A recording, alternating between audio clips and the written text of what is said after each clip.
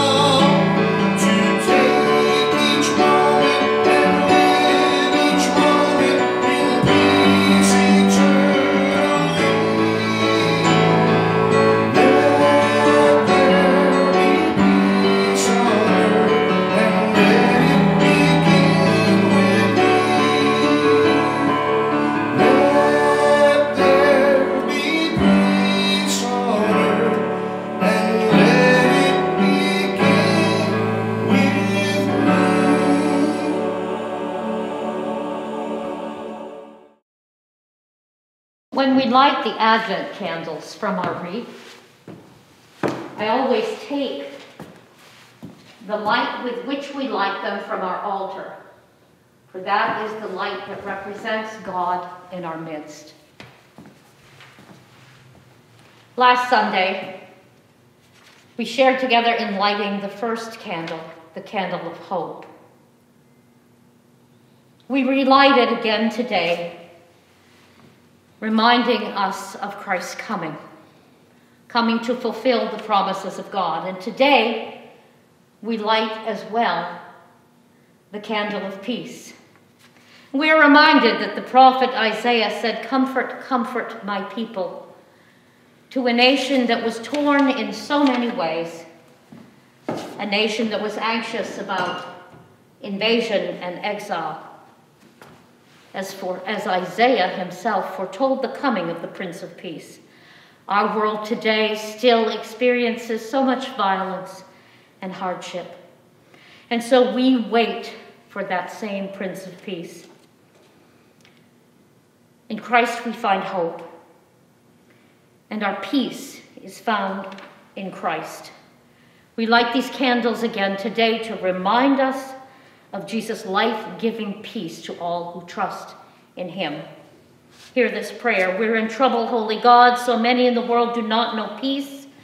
In their countries or in their hearts, we use weapons of steel and barbed words to wound one another. We seek balm for our restless hearts and things that only make us more wounded Open our hearts to Jesus so we may have the peace of his holy presence and live it in our unpeaceful world. Save us from outside violence and inner turmoil. We need you. Come, peaceful God, come. Amen.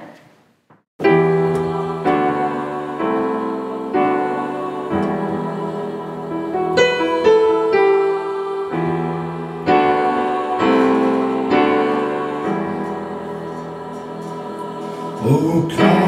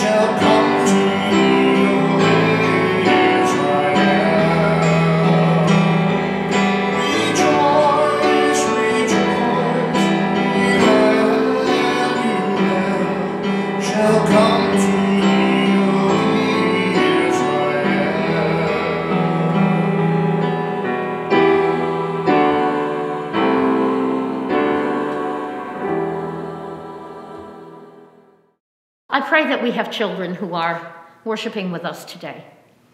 And I have a question to ask you, our young ones. Do you ever fight with your brothers or sisters? Or do you sometimes have little arguments with friends in school? You know, when my kids were little, I would send them into a bedroom, those who were fighting, and I'd say, Live or die.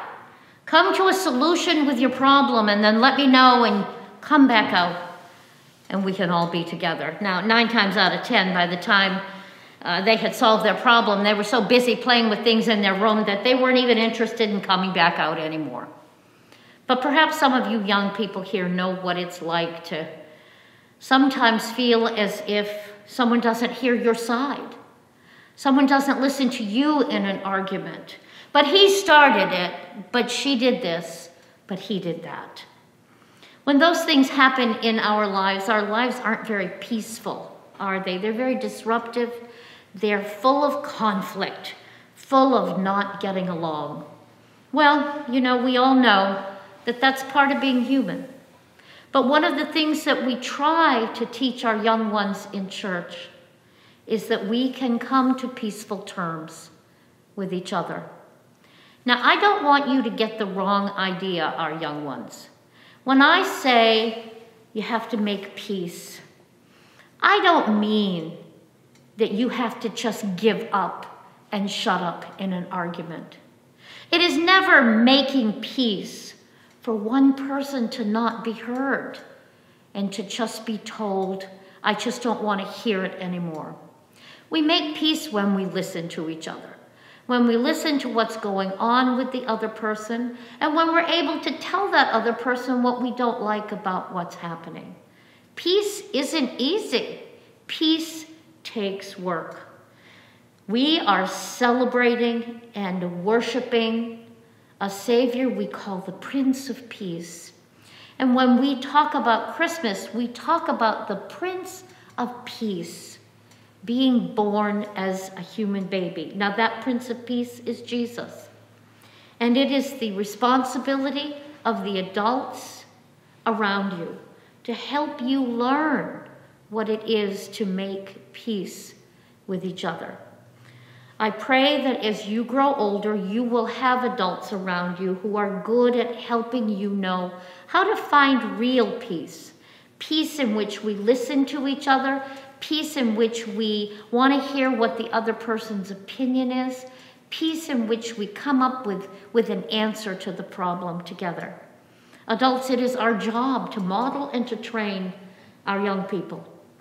And every one of us hearing this also knows that every time we have the opportunity to teach it, we learn the lesson a little bit better. Let us pray. Lord, learning peace is not easy. Making peace can be very difficult.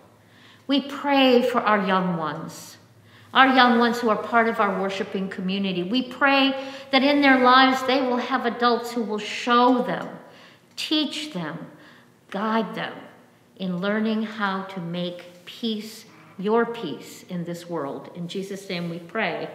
Amen.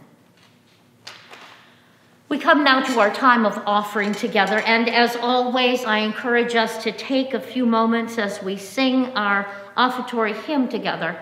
Take a few moments to think not only of what we offer monetarily to the work of the church, but what we offer through our gifts and graces that God has given to us. One without the other is a lonely gift. So take a few moments as we prepare for our prayer of dedication to think on the gifts that you will bring to God in this week to come.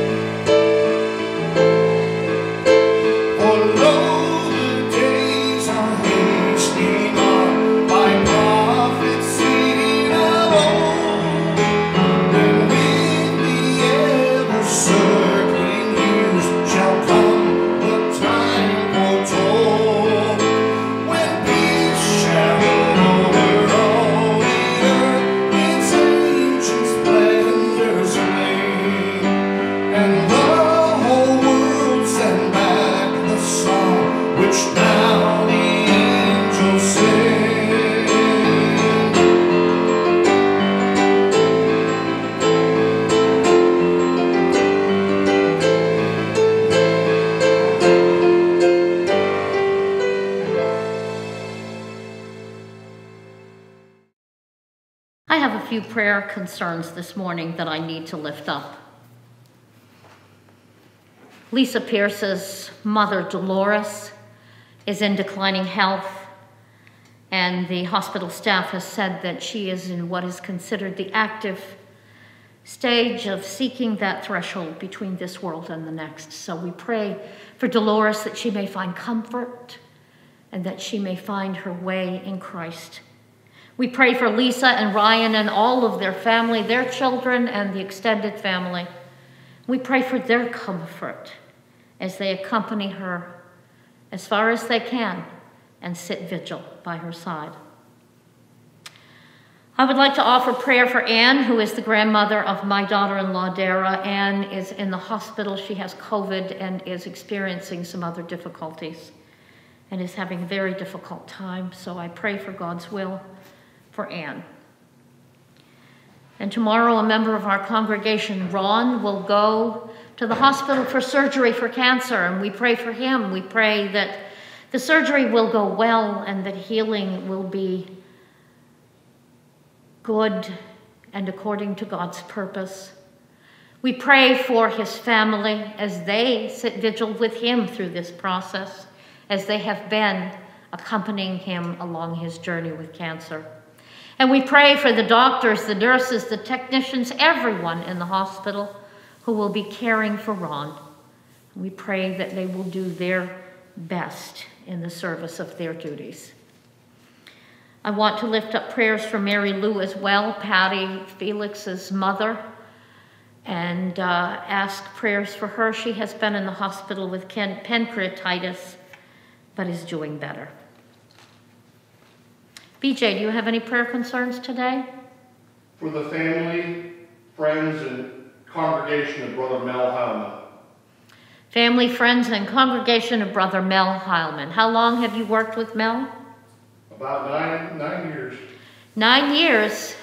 He was 93 when he passed, so you can do the math as to how old he was when BJ started working with this amazing man of the cloth. We give thanks for his life. BJ, would you lead us in our prayer hymn, I Heard the Bells on Christmas Day?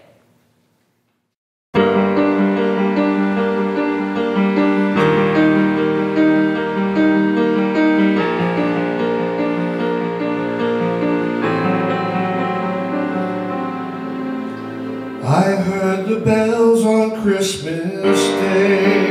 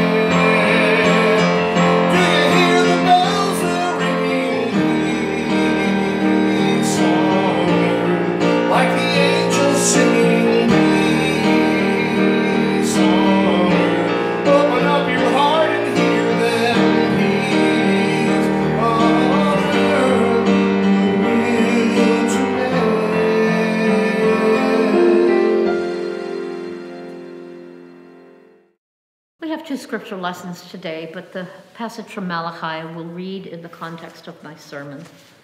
But I will lift up now the passage from the first chapter of the Gospel according to Luke, verses 68 through 79. Blessed be the Lord God of Israel, for he has looked favorably on his people and redeemed them.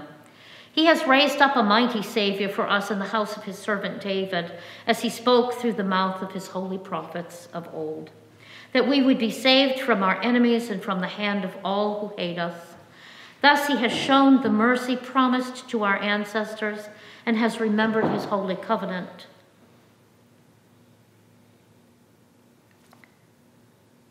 The oath that he swore to our ancestor Abraham to grant us that we, being rescued from the hands of our enemies, might serve him without fear in holiness and righteousness before him all our days. And you, child, will be called the prophet of the Most High, for you will go before the Lord to prepare his ways, to give knowledge of salvation to his people by the forgiveness of their sins. By the tender mercy of our God, the light, the dawn from on high will break upon us to give light to those who sit in darkness and in the shadow of death, to guide our feet into the way of peace. Please join me in prayer.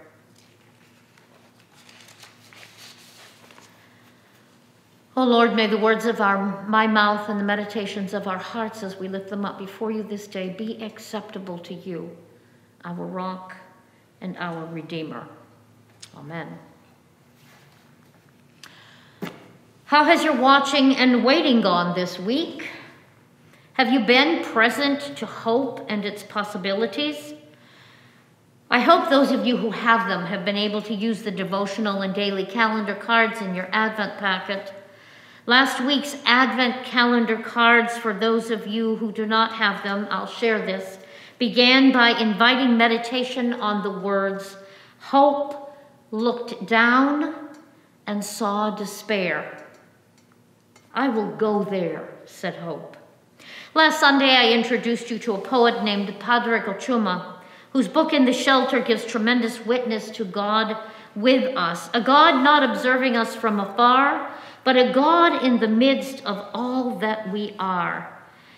Padraig, in his book, says it's important to say hello to here, whatever here may be. Hello to God. I will be reminding us throughout this season of Advent of this theme of hello to that I have chosen, and reminding us of the poem shared by Ó Tuama, written by David Wagoner. It is called Lost.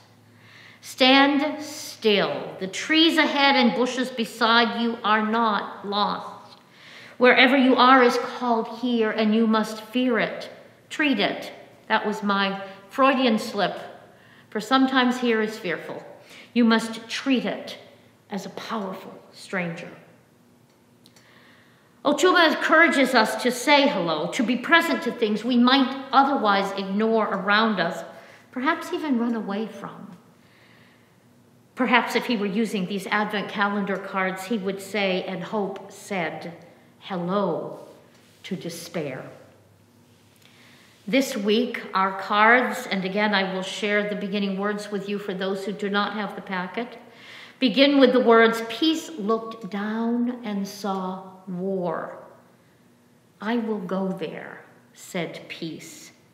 And peace said hello to war. Tradition during the season of Advent brings us to remember on the four Sundays before Christmas the words hope, peace, love, and joy. Easy on the soul if you know hope, live in peace, are full of joy, are surrounded by love.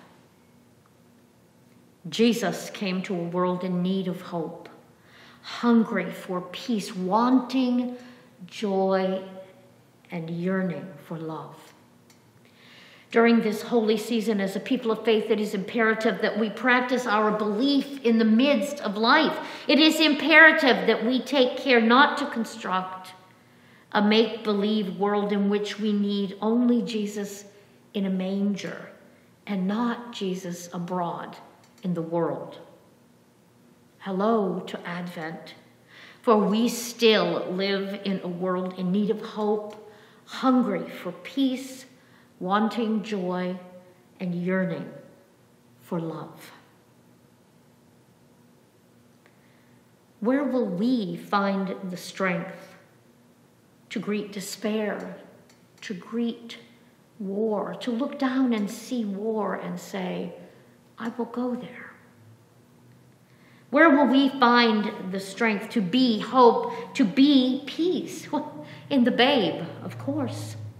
Jesus looked down and saw us. I will go to them, said Jesus, vulnerable. I will go dependent, needy, unable to feed or clothe myself. Jesus said, Hello to us. Our Old Testament reading for today comes from the prophet Malachi, the last book of the canon of the Old Testament. Malachi was perhaps not named for an individual, but was simply named messenger, for that is what Malachi means. While in seminary, I took a class on messianic literature taught on Thursday nights from 7 to 10 in the basement of the School of Theology. It wasn't my one of my stellar moments of my student career. Hard to stay awake, hard to pay attention, to be alert. Oh, maybe it was the perfect metaphor for waiting and watching during Advent, for wanting to stay focused on the things in this season that help us think all is well rather than focus on the purpose and the need for Jesus to be born anew in us today. What does this messianic prophet Malachi say to us of God? What does the messenger offer to us in our waiting and watching? Hear these words from Malachi 3 1 through 4. See, I am sending my messenger to prepare the way before me, and the Lord whom you seek will suddenly come to his temple. The messenger of the covenant in whom you delight, indeed, he is coming says the Lord of hosts. But who can endure the day of his coming, and who can stand when he appears? For he is like a refiner's fire and like fuller's soap. He will sit as a refiner and purifier of silver, and he will purify the descendants of Levi and refine them like gold and silver until they present offerings to the Lord in righteousness. Then the offering of Judah and Jerusalem will be pleasing to the Lord, as in the days of old, as, as in former years. Malachi offers the Messiah as one who will cleanse us and purify us, and not particularly gently. I always think of scenes from Gunsmoke, where Luke is bathing poor, is it Matthew? in that old galvanized tin tub, scrubbing away at him. That is the image I hold in my mind of God cleansing us and purifying us. Fuller's soap was a strong and unrelenting soap used to cleanse fabric to its pure state, to prepare it for being dyed with many colors. And silversmiths used a fire hot beyond bearing to purify silver to the point of reflection like a mirror. There's an old tale about a silversmith who is asked by an observer, When do you know the silver is ready? The smith replies, When I can see my reflection in it. And the story implies that God might refine us until he can see us reflected back to him. Now, please don't, after worship, go online and look up refining silver. Is this story true? Don't worry about it, because I will promise you that if you look up refining silver, it will not take you long to get to such complicated descriptions of the process of refinement that will require an extra degree behind your name to understand. Just see the beauty in the story.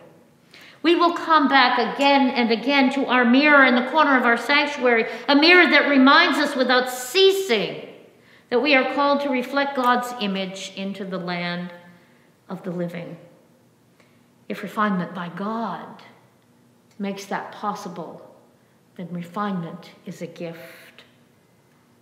Hello to cloth and silver. Hello to the refining presence of God.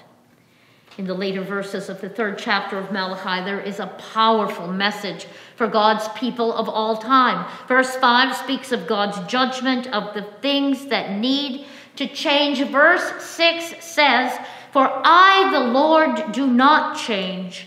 Therefore, you, O children of Jacob, have not perished. God's faithfulness saves us. In God, hope springs eternal. In our great and incredibly loving hope, peace is ever possible. So, what about peace? If we think of peace as the absence of conflict, as the absence of war without and we did within, we do it no justice and we will never find it. We do God no justice to diminish peace to such an understanding. Peace, God's peace, it is what makes it possible for us to rise in the midst of conflict and find the truth that an unchanging God who offers us refining and purifying is always with us. God's refining brings hope, brings peace in the midst of that which would tear us apart.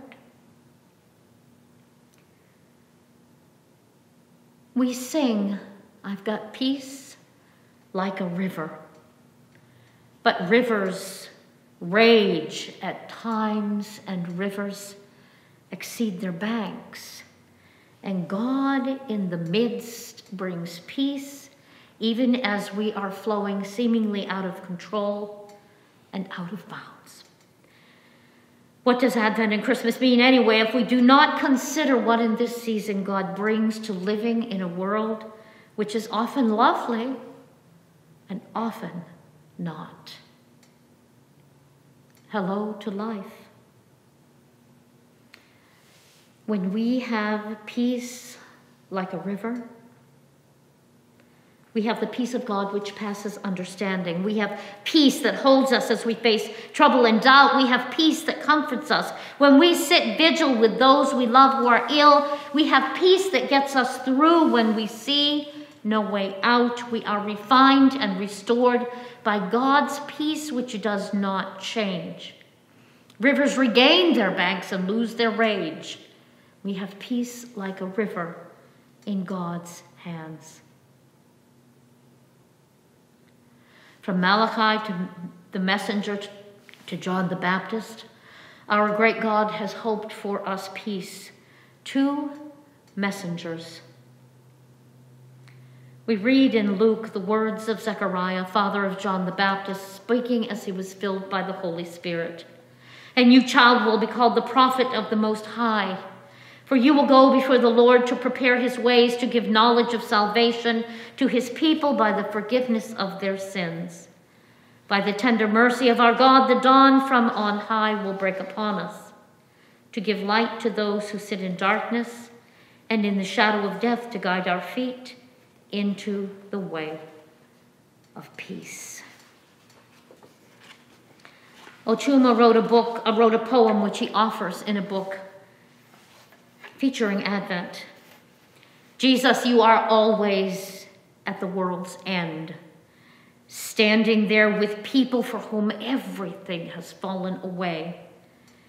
In the hidden corners of humanity, we find you abandoned with the abandoned. May we never forget that the luxuries enjoyed by some are not enjoyed by all. And may we be stirred to turn our attention towards the work of beatitude, the work of blessing for all. Because this moved you and moved you and kept moving you towards the work of beatitude.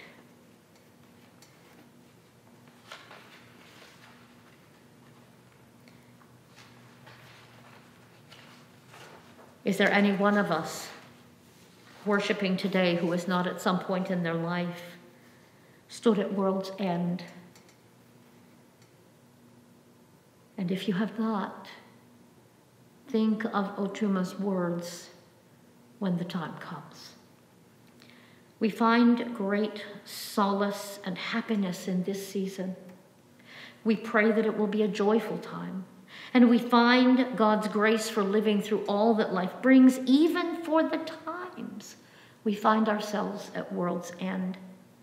God's grace is with us so that we might find peace through it all God's peace, which passes understanding. Hello to the messenger. Hello to peace.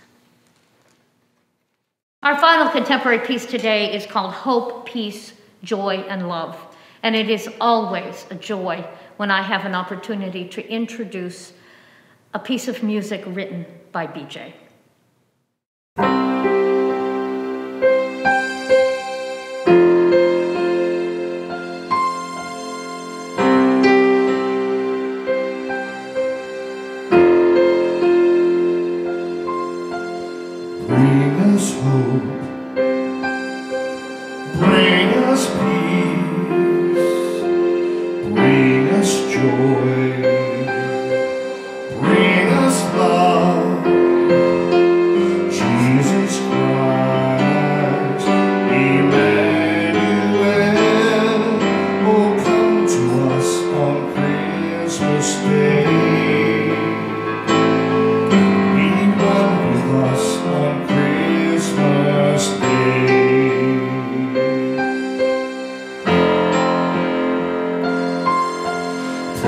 Promised hope,